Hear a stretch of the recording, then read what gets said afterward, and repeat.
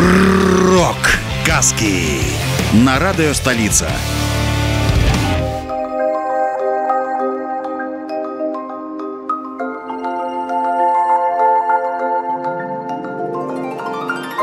Шмат гадоў служыла лесапану верай і праўдай. Але невядома, як яна служыла.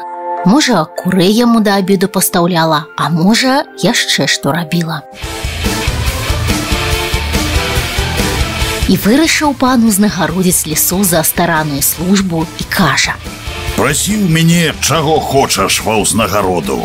Усё табе дам. думала Время быстро пролетало, а ты все обещала Думала, думала, думала И мальчишке молодому ты лучше прожужжала Думала, думала ліса, што ж папрасіць і надумала. Кажа: Дай мне свой званочак, каб усе мяне баяліся як самога пана.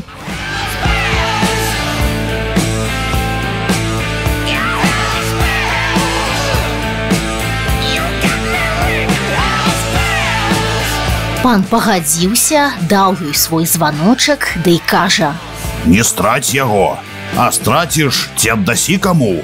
Я з цябе шкуру спушу.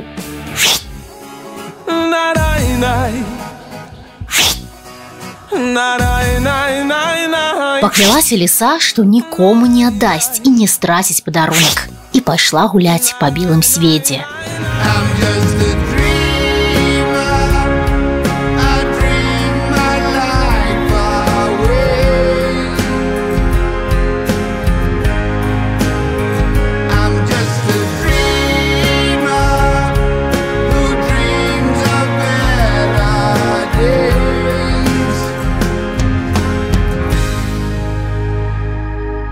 Ідзе яна, званочак звініць, а ўсе палохаюцца, думаюць, што пан ідзе. І даюць лісіцы ўсё, што яна папросіць.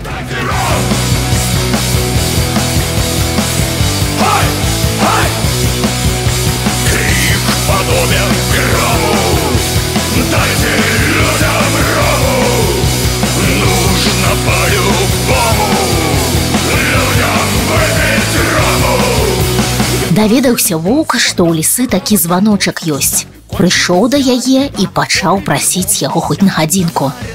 Не хацела спачатку ліса аддаваць падарунак, ды потым пашкадавала шэрага.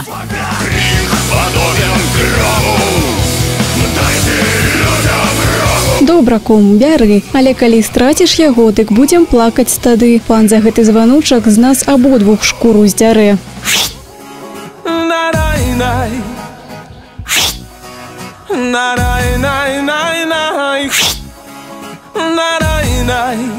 Узяў вок званочак і пабег хутчэй здабыць сабе што-небудзь.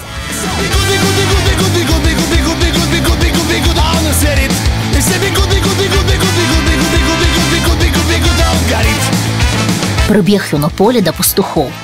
Мяне Кажа: пан даслаў, каб вы яму далі лепшага барана. А не дасце, дык ён сам зараз прыедзе і з вас шкуру спусціць.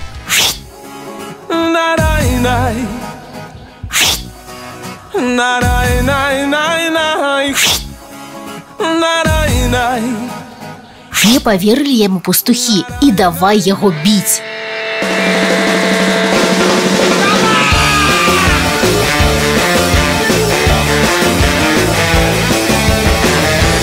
Напусцілі на ваўка сабак і званочак адабралі.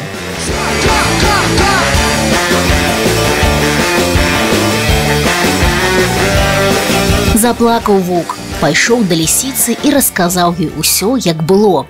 Вы слыхали, как поют дрозды? Забедавала лісіца. Ды што ўжо тут зробіш?